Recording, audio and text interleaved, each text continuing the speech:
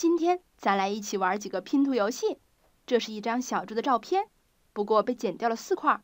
你能把每一块都放回原来的位置吗？位置一少了只耳朵，所以得补一只。可是左耳还是右耳呢？对了，应该是右耳。剩下的位置二就一定是左耳了。再看位置三，它需要一条小猪腿，而四呢，则需要一条尾巴。这样咱就把小猪给拼好了。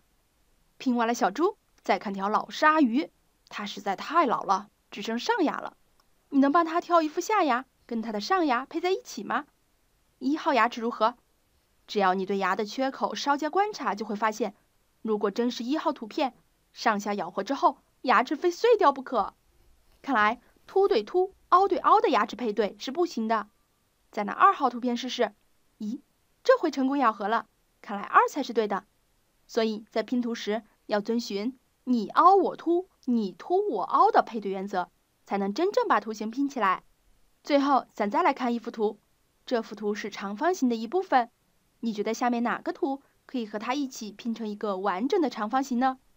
你只要看看组成长方形它还缺什么就成。显然缺的是这块、这块、这块、这块、这块，还有这块。只要把缺的补上，自然就是长方形了。观察一下，不难发现，缺的部分所组成的图形正好是 A，所以答案就是 A。在刚才的这些拼图游戏中。总的来说有两个原则，一是缺啥补啥，像小猪的照片和拼长方形都是这样的例子；二是凹凸配对，像老鲨鱼的牙齿就得用你凹我凸、你凸我凹的原则才能正确配对。明白了这两点，拼图游戏就轻松无比啦。现在问题来了，下面哪个图可以和这幅图拼成一个长方形呢？